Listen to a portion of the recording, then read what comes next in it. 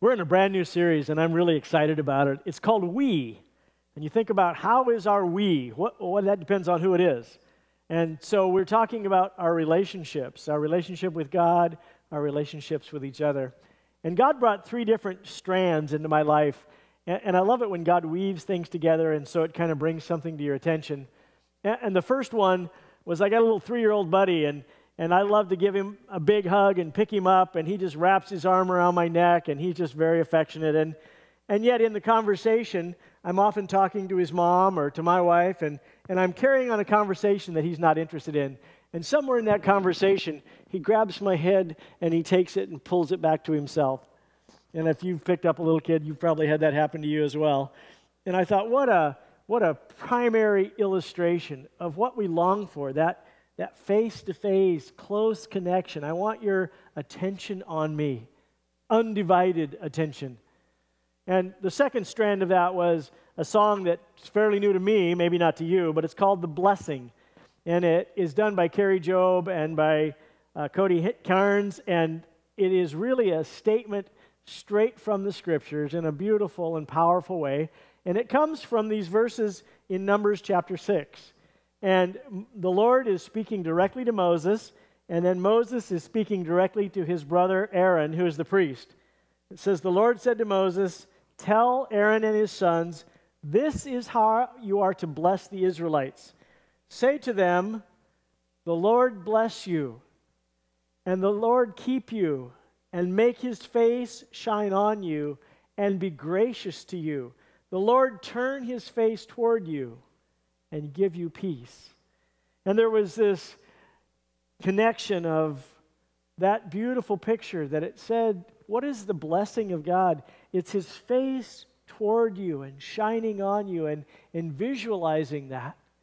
And the third strand was from a devotional that I've been reading on YouVersion called Joy, the Church, and the Neglected Face of God. I know, a long and kind of weird title. And he talks in there about the fact that we are hardwired with two sides of our brain. And the left side of our brain is the one that picks up logic and math and, and the truths about God. And the right side of our brain is what picks up that which is beautiful and artistic and relational. And, and he said a lot of our churches aim towards teaching us about the head, but not really teaching us about the relationship. And, and he dovetailed into that how, even as children, when you come up to somebody and their face lights up when they see you. He said, That's joy. It's like it gives you a hit of joy when you have somebody whose face lights up to see you. And then he carries it on and says, Too often our churches are joyless and our lives in the, in the spiritual life are joyless because we don't have that kind of a connection with God. And when you think of the face of God, one of the questions Pastor Ed often asks when he's trying to probe into somebody's underlying view of God, he, he says, When God is looking at you and you're visualizing that, what is the expression on his face? And you know, I think a lot of people feel like the look on God's face is kind of like, What's the matter with you? Or I have to accept you, or why don't you do better? Or why didn't you do more? And and this idea that the basic fountain of joy comes when we when we see that the Lord's face is shining on us. And isn't that a picture that He turns His face toward us? Now, obviously, God doesn't have a physical face, but this picture in our vocabulary that our joy is full. And you think of that scripture that says, The joy of the Lord is my strength. And you think, what does that mean? And we're going to look at a New Testament scripture that kind of talks about this very basic idea that relationships have to do with this deep connection. And I think for our purposes, it would be helpful to think do we have a connection with God that is like face to face? And the, the first week, as we're talking about we, we're focusing on God and me. Every week, we're going to look at we, and we're going to look at different relationships. Sometimes we're going to look at how does that impact my relationship with my spouse? How does that impact my relationship with my friends? How does that impact my relationship with my children or my neighbors? And, and at every point, it's going to be we, God plus me plus whatever the relationship is.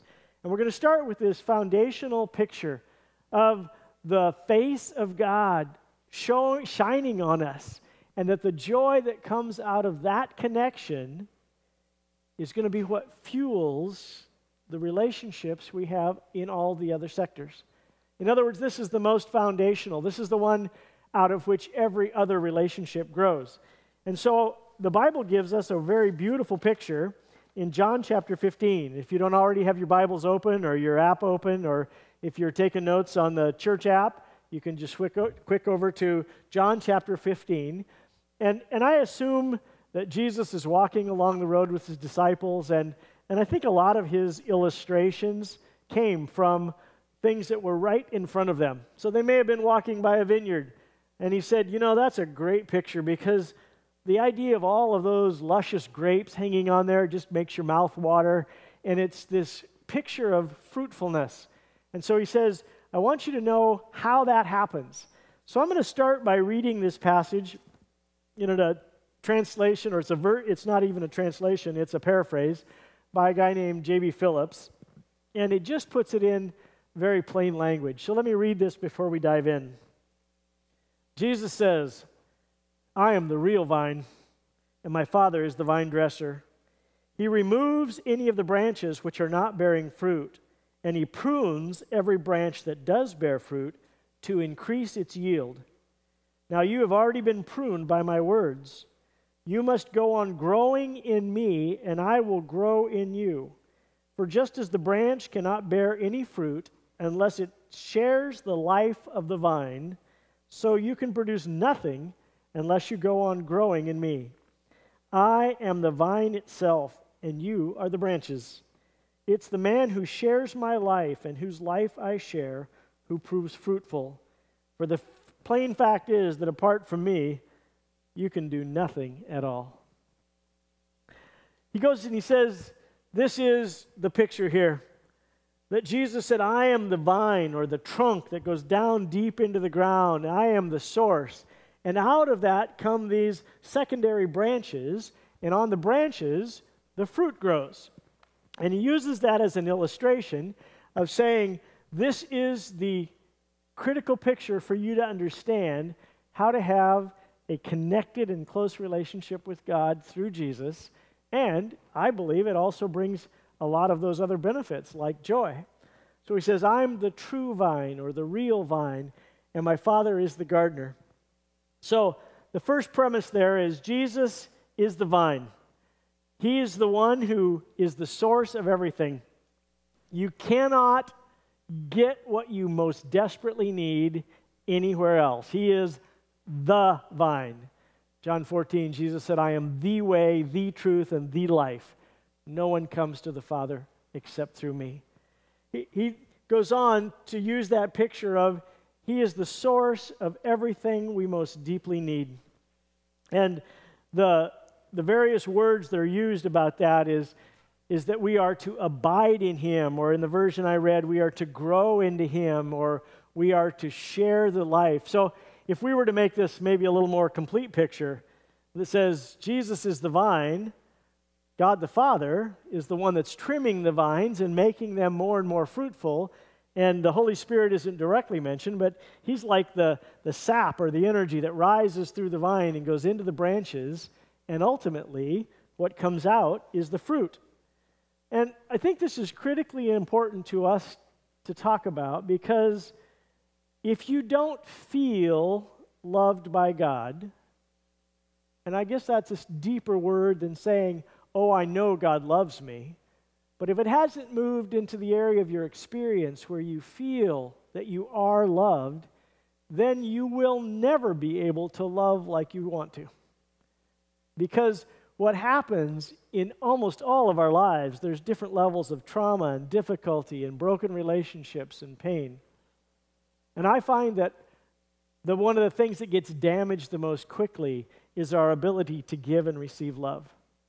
So many people feel unloved, and it's not always because they are unloved. Sometimes it's because that mechanism to be able to absorb love is broken or damaged or is constricted. And so Jesus said, here's the way this has to start that when you become a follower of Jesus, and last week Pastor Craig walked through what does it mean that Jesus came and died and gave his life for us? And what does it mean for us by faith to say, Jesus, I put my life in your hands? And when that happens, he says, You're this branch that's placed into the vine. And yes, it means that when you die, you get to go to heaven, but that is not the only benefit. It means that as soon as you are connected to the vine, that he becomes a conduit of life to you, that he is a conduit of love, that you can feel loved and therefore you can give love. He's a conduit of hope when it seems like everything is so hopeless. He is a conduit of purpose in our life when it's so difficult to find meaning. He, he is the conduit of everything we most deeply need. And He's the only source. He is the vine. Jesus is the one that brings healing. He's the one that brings patience. He's the one that brings forgiveness. He's the one that gives us humility. The things that we most deeply need, they all come from Jesus. So, what's my job? If He's the source, this is the important part because quite often, whatever we say about walking with the Lord, it comes out like you just need to work harder. You need to quit doing so many bad things and start doing so many good things. And this passage actually switches that whole picture. It says, you know what? You have one job. What's that one job? To continually reconnect to the vine.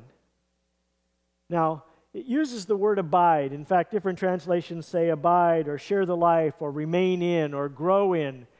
And all of those are, are great word pictures. But I think what it's saying, the underlying reality, is that you and I disconnect so easily all the time. I know I do. I was thinking of a funny story I heard years ago where a guy said, We, we all struggle being distracted when we pray. And one guy said, No, I can pray for a long time and never get distracted. And so the first guy says, Well, I'll give you a horse if you can pray for five minutes without thinking about anything else but your prayer.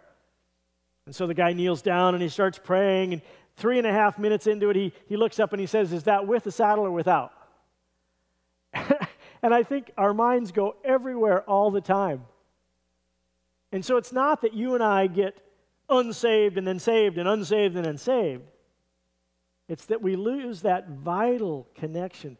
We lose that sense of God's face toward me and my face is towards Him, that we lose that connection that fuels our life. And so, what happens is all of the things come up and begin to corrode our connection. Now, if you're not very familiar with cars, you may not appreciate this, but on a car battery, there are two cables that connect to the positive and the negative and they're tightened on there really tight, and it should all work fine. But over time, it's really easy for some oxidation to develop underneath that. And slowly, it begins to lose fire. Now, it's still looks like it's connected. So you get in there and your car goes click, click, click, click, click, click, and you can't start it. One of the simplest problems may be that those cables have just gotten a little disconnected. Not completely removed, just a, a buildup of this oxidation. And I think of that scripture where Jesus talks about the soils. And one of the soils is called the weedy soil, where the, the good seed goes in. And then he, he describes the things that grow up. And he says there are the three things the worries about this life, the deceitfulness of, of riches or of wealth, and then our other desires. And you know, I think that not only is loneliness rampant in our culture, but I think this COVID crisis has made it even worse. That the struggles that we have gone through have reduced the joy that we often feel from somebody else. When they have a full mask on, you can't necessarily tell if they're smiling.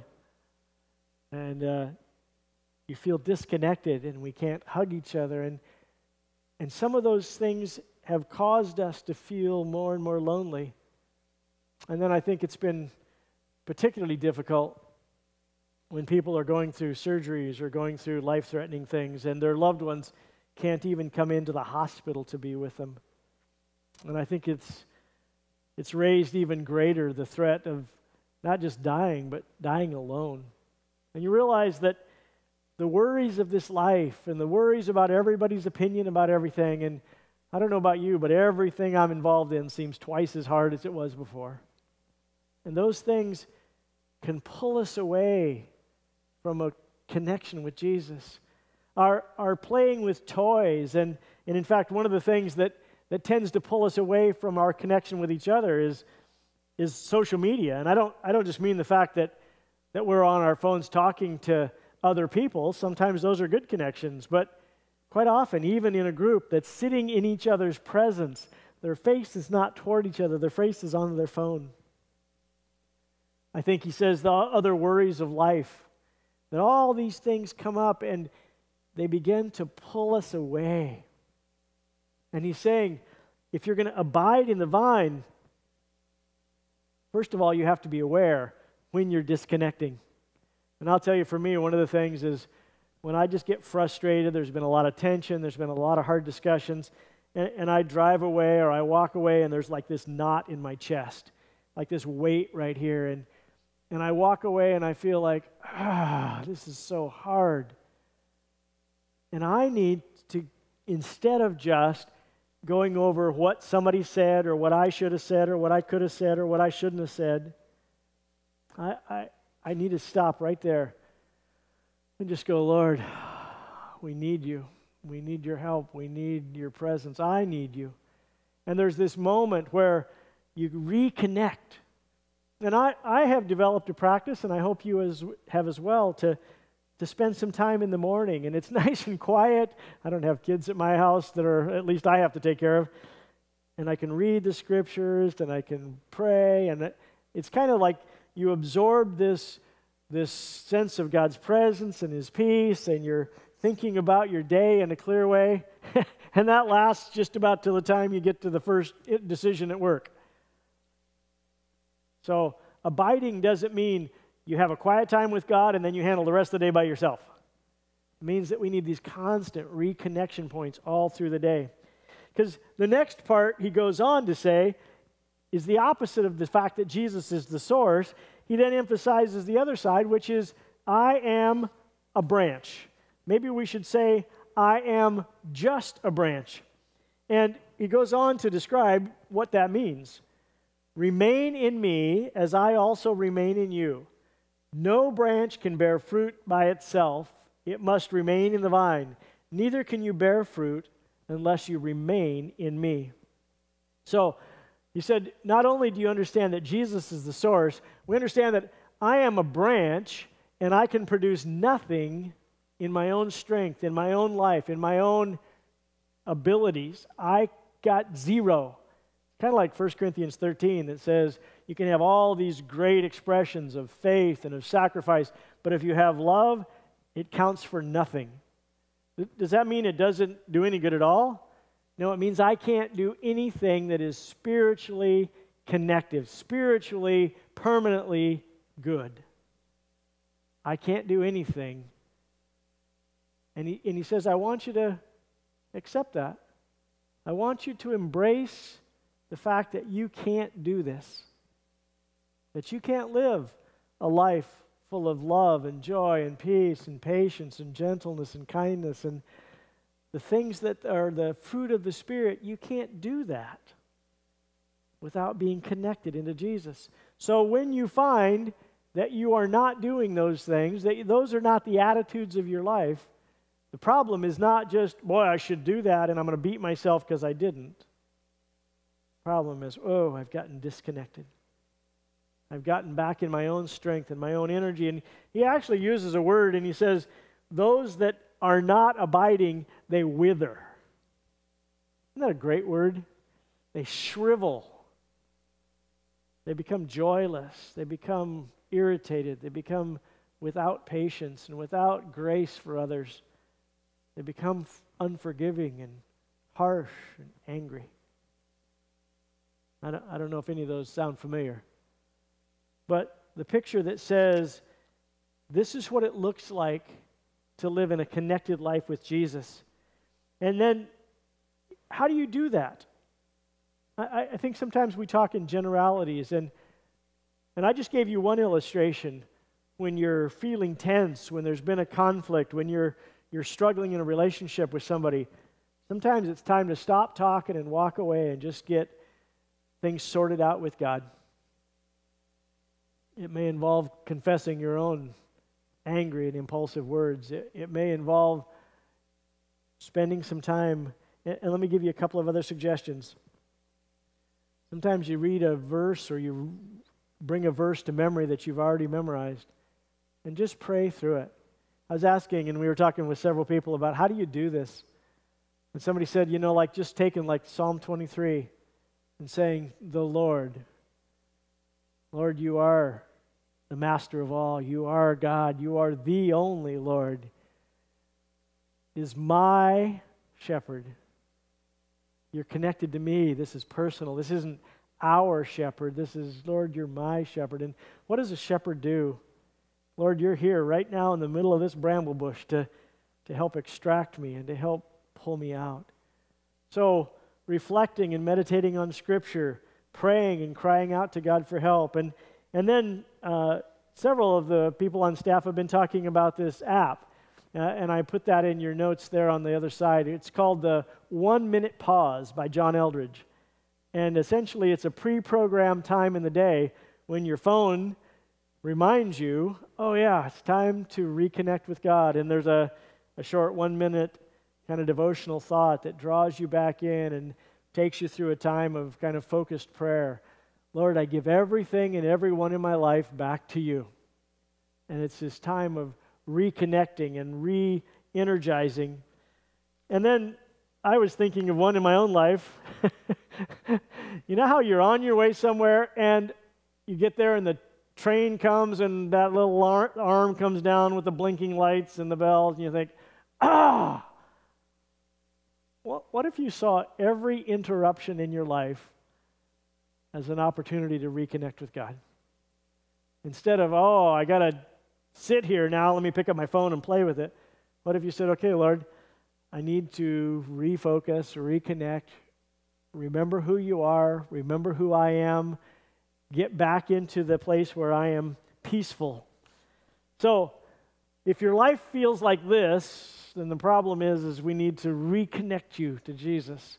If you've never connected to Jesus Christ, then go back and listen to last week's message about how to get connected to the vine. And then we're talking about how do you stay vitally connected. And then he brings another aspect in. He says, I am the true vine and my Father is the gardener. He cuts off every branch that bears no fruit, while every branch that does bear fruit, he prunes so that it will be even more fruitful. And the picture here is there are some branches that wither and they just drop off, they're cut off, they're burned, they're, they're worthless and gone. But he says the ones that do bear some fruit, they go through the cutting process of a wise master gardener for the purpose of bearing more fruit. And he goes on and says, not only that, can I do nothing of myself, but God is at work to develop fruitfulness in me. Now, I personally think this COVID crisis has brought a lot of pruning. Pruning is often the cutting off of things that we've come to depend on instead of Jesus. Things that maybe are legitimately idols, maybe some things that are just distractions that, that keep us really busy. In fact, in the, the material that the life groups are doing, called Emotionally Healthy Spirituality, he talks about how we can even use God to run from God. Meaning that sometimes we get so busy doing for God, but we really don't have any time to spend with God. That if you're too busy doing duties, whether they are secular, job related, family related, or church related, that if you're too busy to spend time with God, you're too busy that there has to be some pruning, some cutting back, so that there's margin, that there has to be time for a Sabbath. One of the other things the book talks about is having daily times through the day when I specifically focus on my relationship with God and get back in my right mind. And then that there are times when I quit work completely and take a time of rest. That doing too much can be one of the things that disconnects us from the vine. And so these are the pictures that he's, he's walking us through that God is working to prune me. And what happens to a grapevine if it doesn't get pruned is it's all show and no go, which means that you have vines every which direction. You have branches that go all over. In fact, I saw one once at somebody's house that had been let go, and it was literally 40 foot up in a tree. And it was all of these different branches with leaves and very, very little fruit. And what's interesting, if you walk along and you, you see what they're doing in the vineyards after the grapes are harvested, there's a severe cutting back. And it's a very precise cutting back of what you do with the one year wood and the two year wood and how you shape that. And you do it for maximum effectiveness. So, what, God, what is God interested in in terms of fruitfulness? Because the whole point of this is that God's plan is to make us fruitful. In fact, uh, maybe we should say that stronger that God's goal is not to make us comfortable, but to make us fruitful. And sometimes the pruning is painful when you begin to see the selfish roots of what much of what we do is. And, and God begins to cut in and say, Is that about you or about me? And as God does that, we can either fight kicking and screaming, or we can say, Lord, I want you to cut out everything in me that's hindering my relationship with you. I want to cooperate with you in this purpose of fruitfulness. And, and I want you to see how this is linked up. There, there's one of the ways that we often think of fruitfulness, and that is we think of spiritual fruit, the, the fruits of the Spirit in Galatians chapter 5. And he says the fruits of the Spirit are love, joy, peace, patience, gentleness, and the patience means long suffering with other people, dealing with annoying people. And he talks about kindness and humility and gentleness. And, and most of those words are related to attitudes that we have that foster deep and connected relationships. Let me say that again. That the fruit of the Spirit brings attitudes in our lives that foster deep and connected relationships. Let me say it this way I have deer in my yard all the time. I know you may also, but I have deer there for a very specific reason because I have apple trees. And where there are apple trees dropping the fruit on the ground, there will always be deer. And where the fruit of the Spirit is at work in your life, there will always be relationships around it because that's the result of the fruit. And so he gives us some key pointers in the next couple of verses. He says, This is to my Father's glory that you bear much fruit, showing yourselves to be my disciples. So, not only do we individually have this process of God changing our attitudes as we connect to Him, but it should create these connective relationships in our marriages, in our homes, with our neighbors that should be incredibly attractive to people looking because they see love and gentleness and care and a deeper level than just politeness and civility. And Jesus said, They'll know you're my disciples by the fact that you have love to each other.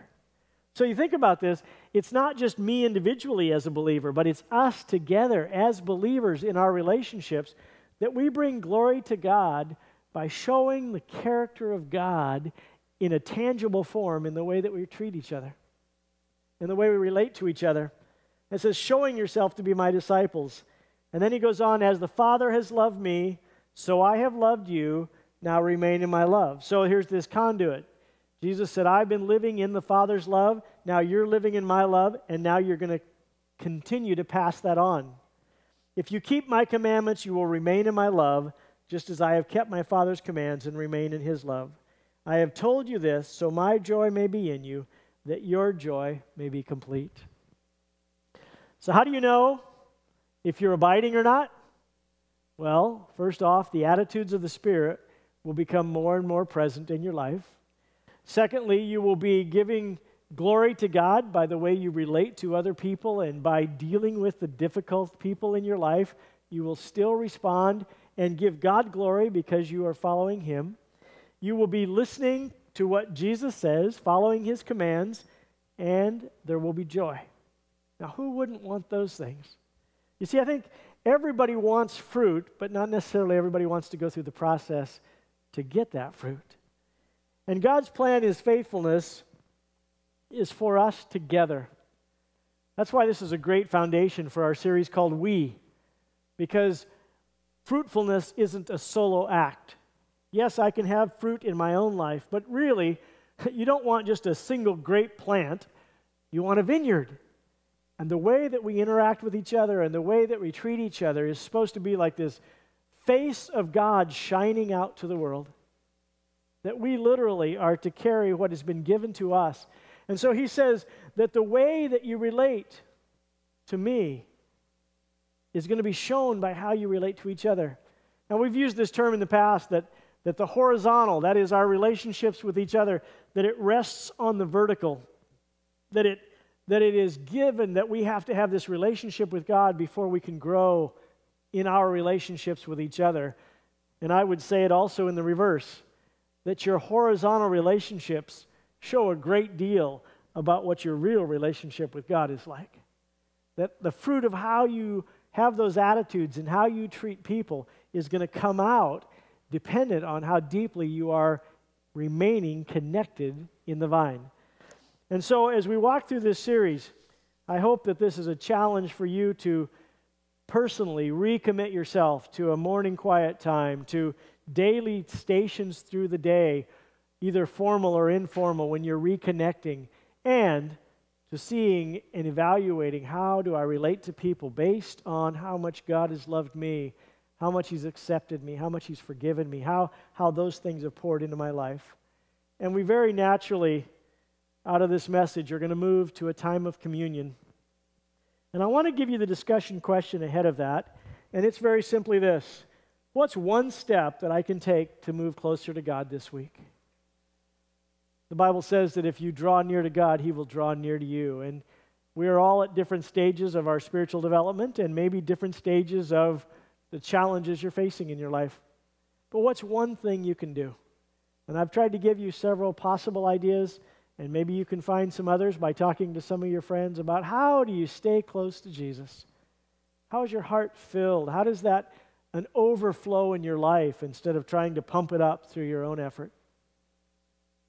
And one of the secrets is that it takes time. You have to stop and reflect and think. And we're grateful that you are listening this weekend, whether you're in one of our meetings or whether you're watching in your own home. And we're going to take a time just to reflect. And we're going to listen to a song which is incredibly powerful called Amazing Grace. And as you listen to that, I want you to do some of the heart work in preparation. I want you to ask yourself that question how close am I to Jesus? What do I see his face shining towards me and, and is my face turns towards him? Or have I been focused on the politics? Or have I been focused on the problems? Or have I been focused on other people? And get your face back on God. And sometimes it starts with some apologies. God, I'm sorry that I've neglected you. I'm sorry that I've walked away. I'm, I'm sorry that I've let the frustration with people undermine my relationship with you. And so spend some time, the Bible calls that repenting, letting go of things. In fact, I think the most honest repentance is God, that is ugly, you're right, please take it out of me, I can't. And God begins to prune and to change our attitudes and change the way we see the world.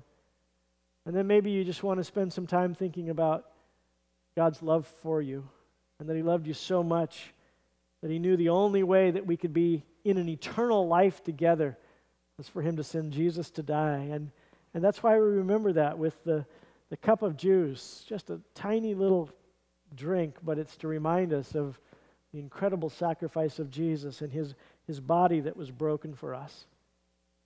And as you think about the amazing grace, I, I want you to spend some time saying, Thank you, Jesus, for your life. Thank you for saving me. Thank you for so many times taking care of me. And as you spend time reflecting on the goodness of God, as He brings things to your mind, let me encourage you just to put them back in His hands. Here's a problem you're worrying about. Put it back in Jesus' hands. Here's something you can do nothing about. Put it back in Jesus' hands. So as we sing this song together, I encourage you to do some of that heart work that gives you a connection with Jesus and makes you ready. And as you drink that cup and as you eat that, that bread, may it be a real shot of joy, of remembrance. May the Lord bless you and keep you. May he make his face to shine upon you. May he be gracious towards you and give you peace.